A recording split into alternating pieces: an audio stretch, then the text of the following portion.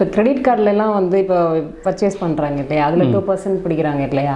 இப்போ அதெல்லாம் எப்படி நம்ம இதை கால்குலேட் பண்ணுறது கிரெடிட் கார்டு பர்ச்சேஸ் பண்ணும்போது டூ பர்சன்ட் பிடிக்கிறது கவர்மெண்ட் இல்லை கம்பெனி ஏன் அந்த டூ பர்சன்ட் பிடிக்கிறாங்க அப்படின்னா கிரெடிட் கார்டில் நீங்கள் ஸ்வைப் பண்ணிங்கன்னா பேங்க்காரை வந்து ஒரு பேங்க் சார்ஜஸ் வந்து கலெக்ட் பண்ணுவான். இப்போது சரவணா ஸ்டோர் மாதிரியான பெரிய கம்பெனி போத்தீஸ் மாதிரி பெரிய கம்பெனி அப்படின்னா அவங்களுக்குலாம் ஃப்ரீ ஆகிடும் ஏன்னா அவங்க number of transaction number of swiping வந்து ஜாஸ்தி. இதே இது ஒரு சாதாரண சின்ன கடை அங்கே போய் நம்ம ஸ்வைப்பிங் மிஷின்னா ரெண்டு பேர் தான் ஸ்வைப் பண்ணுவாங்க மூணு பேர் தான் ஸ்வைப் பண்ணுவாங்க. அப்போ அந்த ஸ்வைப்பிங் சார்ஜஸ்க்கு வந்து அவங்க ஒரு ரெண்டு பர்சன்ட் அவங்க சார்ஜஸ் பண்ணுவாங்க. அந்த ரெண்டு பர்சன்ட் சார்ஜஸை தான் அவங்க கேட்குறாங்களே தவிர இதுக்கும் கவர்மெண்ட்டுக்கும் சம்மந்தமே இல்லை. ஸோ கவர்மெண்ட்டுக்கும் அந்த சார்ஜஸ்க்கும் சம்மந்தம் இல்லை. ஆனால் இந்த கிரெடிட் கார்டு நீங்கள் கேட்டனால ஒரு விஷயத்த சொல்லுகிறேன். நிறைய பேர் என்ன பண்ணுறாங்கன்னா கிரெடிட் கார்டில் என் ஃப்ரெண்டுக்கு அதை வாங்கி கொடுத்தேன். என் ஃப்ரெண்டு ஒரு ரெண்டு லட்ச ரூபா கேட்டான் ஸ்வைப் பண்ண கொடுத்தேன். இந்த மாதிரிலாம் ஏன்னா நமக்கு லிமிட் இப்போ நீங்கள் கம்பெனியில் வேலை பார்க்குறீங்க. கம்பெனியில் வேலை பார்க்கும்போது உங்களுக்கு உங்கள் ஆசையை தூண்டுவாங்க. ஒரு மூணு லட்ச ரூபாய்க்கு கிரெடிட் கார்டு தருவாங்க. ஸோ நம்ம என்ன பண்ணுவோன்னா சும்மா போய் தேவையில்லாத பர்ச்சேஸ் பண்ணுவோம். இல்லைன்னா நம்ம ஃப்ரெண்டுகிட்ட கையில் கொடுத்து நீ ஸ்வைப் பண்ணுங்கன்னு சொல்லிடுவோம். பட் கவர்மெண்ட் என்ன பண்ணுது அப்படின்னா உங்களோட என்ன எவ்வளோ தூரம் நீங்கள் செலவு பண்ணுறீங்க அதாவது நம்ம எக்கனாமிக்ஸ் மாதிரி தான் எவ்வளோ எக்- எவ்வளோ நீங்கள் செலவு பண்ணுறீங்களோ அவ்வளோ நீங்கள் வருமானம் பார்க்குறீங்கன்னு அர்த்தம். ஸோ அதுதான் வந்து யூஸ்வலாக எக்கனாமிக்ஸ் சம்மந்தப்பட்டது இதே தான் அவன் நம்ம கவர்மெண்ட் என்ன பண்ணுறான்னா கிரெடிட் கார்டில் நீ எவ்வளோ ஸ்வைப் பண்ணியிருக்க? கிரெடிட் கார்டில் நீங்கள் பத்து லட்ச ரூபா ஸ்வைப் பண்ணியிருக்கீங்க அந்த வருஷம். ஆனால் நீங்கள் இன்கம் டேக்ஸில் ஃபைல் பண்ணது நாலு லட்சம் தான் ஃபைல் பண்ணியிருக்கீங்கன்னா கண்டிப்பாக கேள்வி வரும். ஸோ இப்போ நானே நிறையா வந்து என்ன பா பார்க்குறேன்னா என்னோடய கிளைண்ட்ஸ்லாம் வருவாங்க. சார் எனக்கு டிபார்ட்மெண்ட்லேருந்து நோட்டீஸ் அனுப்பிச்சிருக்காங்க அப்படின்னு. ஸோ அவங்களுக்கு அந்த நோட்டீஸ் சம்மந்தமாக என்னன்னே தெரியாது. ஸோ நம்ம பார்க்குறோம் நோட்டீஸில் பார்க்கும்போது எப்படி அவங்க டேட்டா எடுத்திருக்காங்க அப்படின்னா ரெண்டு வகை. ஒன்று இன்சூரன்ஸ் கட்டியிருக்கிறது. ரெண்டாவது கிரெடிட் கார்டு ஸ்வைப் பண்ணது. இந்த கிரெடிட் கார்டு ஸ்வைப் பண்ணுறது வந்து பார்த்தீங்கன்னா ஒரு பத்து லட்ச ரூபாய்க்கு அந்த இயரில் ஸ்வைப் பண்ணியிருக்காங்க ஸ்வைப் பண்ணி பேமெண்ட்டை வாங்கியிருக்காங்க. திரும்ப மறுபடியும் ஸ்வைப் பண்ணியிருக்காங்க. பட் அவரோட ஆக்சுவல் சேலரி அப்படின்னு பார்த்தீங்கன்னா அந்த மாதம் வரும். அந்த வருஷமே ஆ- அஞ்சு லட்ச ரூபா தான். எப்படி சார் இவ்வளோ ஸ்வைப் பண்ணீங்க? எப்படி இவ்வளோ பேமெண்ட் பண்ணீங்க? அப்படின்னு கேட்டோன்னா இல்லை என்னோடய ஃப்ரெண்டுக்கு நான் கொடுத்தேன். ஸோ ஃப்ரெண்டு தான் வந்து ஸ்வைப் பண்ணிவிட்டு திரும்ப எனக்கு பேமெண்ட் பண்ணார் அப்படின்னு சொல்கிறாங்க பட் கவர்மெண்ட்டுக்கு நீங்கள் ஃப்ரெண்டுக்கு தான் ஸ்வைப் பண்ணீங்கன்னு தெரியாது. அவங்கள பொறுத்த வரைக்கும் டென் லேக்ஸ் நீங்கள் என்ன பண்ணியிருக்கீங்க ஸ்வைப் பண்ணிட்டீங்க. டென் லேக்ஸ் நீங்கள் செலவு பண்ணியிருக்கீங்க ஆனால் இன்கம் வந்து அஞ்சு லட்சம் தான் கொடுத்துருக்க. அஞ்சு லட்ச ரூபா இன்கமுக்கு எப்படி நீ பத்து லட்ச ரூபாய்க்கு செலவு பண்ண?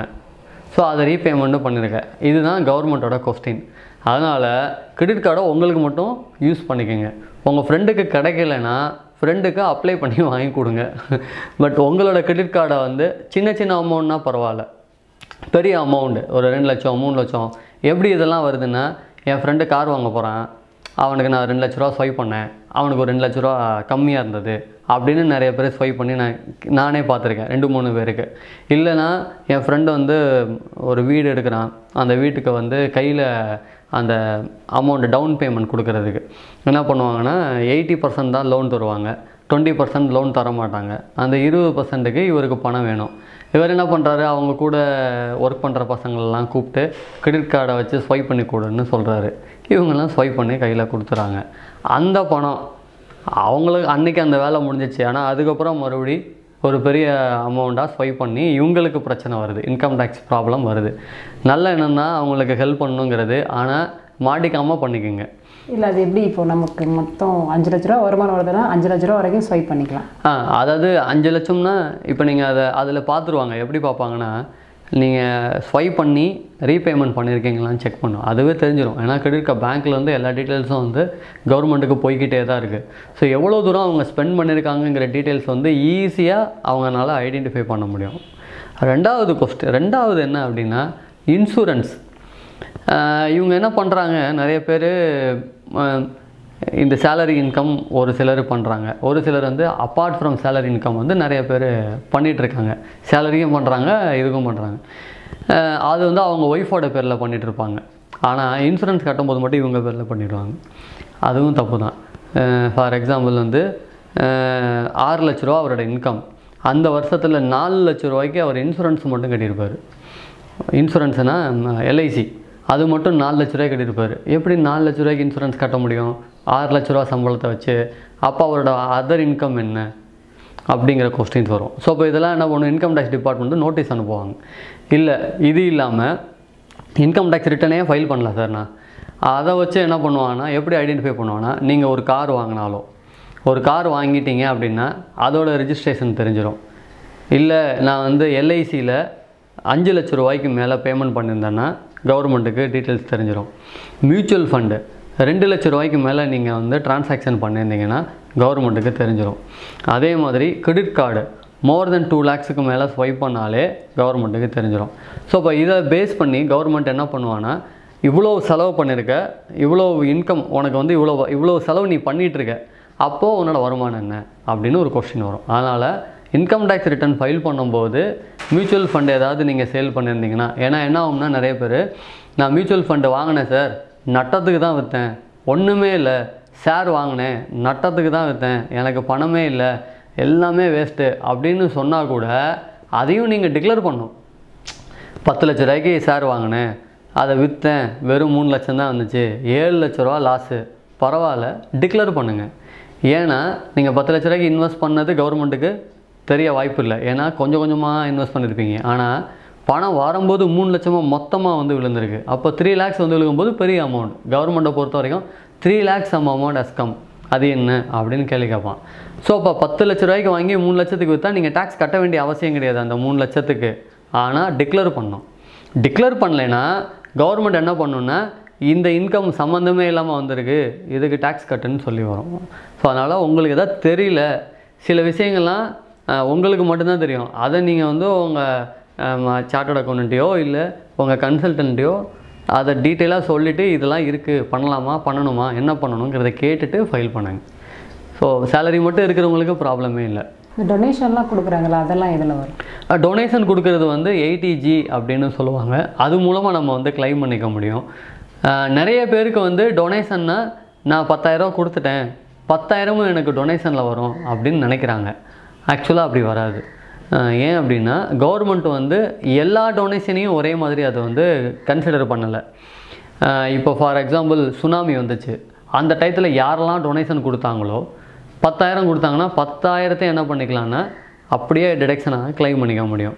அதே மாதிரி நிறையா ப்ரைம் மினிஸ்டர் ரிலீஃப் ஃபண்டுன்னு இருக்குது பிரைம் மினிஸ்டர்னா நிறையா பழைய பிரைம் மினிஸ்டர் நேமில் நிறைய ரிலீஃப் இருக்குது அது எதுக்காக அப்படின்னா ஆமாம் ஏதாவது ஒரு ஊரில் பிரச்சனை அந்த பிரச்சனையை வந்து இந்த ஃபண்டு மூலமாக வந்து என்ன பண்ணுவாங்கன்னா உதவி பண்ணுவாங்க. அதுக்கெல்லாம் தான் hundred percent apart from that maximum fifty percent தான். அந்த ஃபிஃப்டி பர்சன்டேஜுங்கிறது வந்து நீங்கள் பத்தாயிரரூவா கொடுத்துருந்தீங்கன்னா ஐயாயிரரூவா நீங்கள் claim பண்ணிக்கலாம். ஐயாயிரரூவா தான் ஐடிஜியில் claim பண்ண முடியும். அதே மாதிரி இன்னொன்று என்ன இருக்குன்னா டென் பர்சன்ட் அட்ஜஸ்டடு டோட்டல் இன்கம்னு சொல்லுவாங்க. அந்த டொனேஷனே வந்து ஆக்சுவலாக எங்களுக்கு தான் தெரியும். அது எப்படி கிளைம் பண்ண முடியும்னு. நீங்கள் ராங்காக அவைல் பண்ணிங்கன்னா நோட்டீஸ் வரும். பத்தாயிரத்தை அப்படியே பத்தாயிரத்தை போட்டு கிளைம் பண்ணிங்கன்னா நீங்கள் வந்து எக்ஸ்ட்ரா ஐயாயிரரூவா கிளைம் பண்ணியிருக்கீங்க அந்த ஐயாயிரத்தை நீங்கள் டேக்ஸ் கட்டுங்கன்னு சொல்லி நோட்டீஸ் வரும். ஸோ அதனால் அதை கொஞ்சம் அவங்களே கொடுப்பாங்க. நீங்கள் டொனேஷன் வாங்க கொடுக்கும்போது ஒரு ரிசிப்ட் ஒன்று தருவாங்க. அந்த ரிசிப்டில் நாங்கள் ஏடிஜியில் வந்து ரிஜிஸ்டர் பண்ணியிருக்கோம். மட்டும்தான் சொல்லியிருக்கோம். எவ்வளோ பர்சன்டேஜ் உங்களுக்கு டொனேஷன் claim கிடைக்கும்னு சொல்லியிருக்கவே மாட்டாங்க. நிறைய பேர் டொனேஷன் கொடுக்குறாங்களே தவிர டொனேஷன் வா கொடுக்குறாங்களே தவிர ரிசிப்டே வாங்குறதில்ல. அவங்களாம் ஏடிஜி கிளைமே பண்ணிரு அது மீன்ஸ் ரிஜிஸ்டரே பண்ணியிருக்க மாட்டாங்க. ஏடிஜி ரிஜிஸ்டர் பண்ணலைன்னா அவங்களால டொனேஷன் ரிசிப்ட் கொடுக்க முடியாது. அதாவது ட்ரஸ்ட்டுக்காரவங்க வந்து ரெஜிஸ்டர் ஆமாம் இப்போ ஒரு ட்ரஸ்ட்டு அப்படிங்கிறது ரெண்டு வகையான ரெஜிஸ்ட்ரேஷன் இருக்குது டுவெல் ஏ அப்படின்னு ஒரு ரெஜிஸ்ட்ரேஷன் இருக்குது எயிட்டிஜி அப்படிங்கிற ஒரு ரெஜிஸ்ட்ரேஷன் இருக்குது டுவெல் ஏங்கிறது அந்த ட்ரஸ்ட்டுக்கு பெனிஃபிட் வர்றதுக்காண்டி. இப்போ நான் ஒரு ட்ரஸ்ட்டு நடத்துகிறேன் அப்படின்னா நான் வாங்குகிற இன்கம்லாம் எனக்கு டேக்ஸ் வரக்கூடாது. அதனால அதுக்கு பேர் டுவெல் ஏ ரிஜிஸ்ட்ரேஷன் நான் வாங்கிக்கிறேன். எயிட்டிஜிங்கிறது எனக்கு பணம் தரான்ல அவனுக்கும் டேக்ஸ் வராமல் இருக்கணும். அதுக்கு பேர் எயிட்டிஜி டொ அதை தான் வந்து நம்ம எயிட்டிஜி செக்ஷன் சொல்கிறோம் அதையும் நம்ம என்ன பண்ணோம் நான் வாங்கியிருக்கணும். நான் வாங்காமல் டொல்லையை மட்டும் வாங்கியிருந்தேன்னா உங்களுக்கு அந்த பெனிஃபிட்டே தர முடியாது. ஸோ அப்போது நீங்கள் கொடுக்கக்கூடிய ட்ரஸ்ட்டில் இப்போ நீ எயிட்டிஜி வாங்கியிருக்கியான்னு கேட்டுட்டு கொடுக்கறது நல்லது. இல்லைன்னா இல்லை எனக்கு எது வேணாம்ப்பா கொடுத்தா போதும் அப்படின்னா ஓகே ஸோ அது அவங்களோட இதை பொறுத்து. ஆனால் ரெண்டுமே வாங்கணும் இருக்கு ஆ டுவெல்லையே வாங்கணும் அவசியம் இல்லை. எயிட்டிஜி வாங்கினா போதும். ஆனால் ஒரு ட்ரஸ்ட்டாக இருக்கிறவங்க டுவெல்லையும் வாங்கணும் எயிட்டிஜியும் வாங்கணும். அதெல்லாம் ஆடிட்டர் கைட் பண்ணுவாங்க. ஆமாம் அது நம்ம கைட் பண்ணுவோம். தமிழ் மீடியா சேனலை சப்ஸ்கிரைப் பண்ணுங்கள்